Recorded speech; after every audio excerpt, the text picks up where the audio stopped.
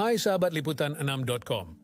Newsflash Showbiz comeback dengan rangkuman berita terhangat pada hari ini, Jumat 12 Juli 2024. Yuk, kita simak. Tiko Aryawardana, suami Bunga Citra Lestari atau BCL, menjalani pemeriksaan di Polres Metro Jakarta Selatan atas kasus dugaan penggelapan 6,9 miliar rupiah pada Kamis kemarin. Saat bertemu wartawan, Tiko mengimbau untuk tidak menyeret BCL dalam pemberitaan masalah ini. Mohon jangan tuliskan BCL atau menggunakan foto dia di dalam pemberitaan masalah ini. Terima kasih, kata Tiko. Dalam pemeriksaan ini sendiri, ada sekitar 40-50 pertanyaan yang diajukan polisi kepada Tiko. Semoga semua masalah ini beres dan keadilan berhasil ditegakkan ya.